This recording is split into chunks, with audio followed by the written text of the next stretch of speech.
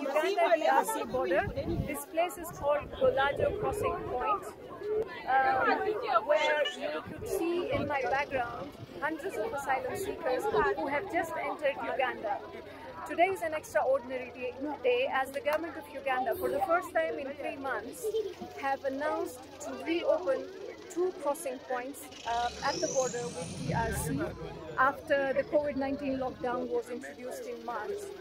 These people, the majority of whom are women and children, have been stranded for the past one month in a no man's land between Uganda and DRC without any food, without any shelter and without any water. They are in desperate situation. Many of them are without any luggage, barefoot and only with the clothes on their back.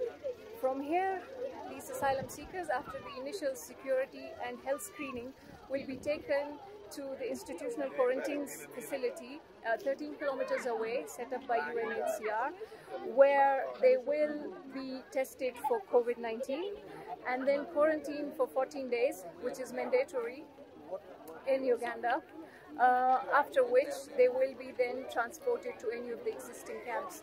This gesture of solidarity shows that countries can still manage their border uh, by putting in place better screening facilities uh, while at the same time respecting international human rights and refugee protection.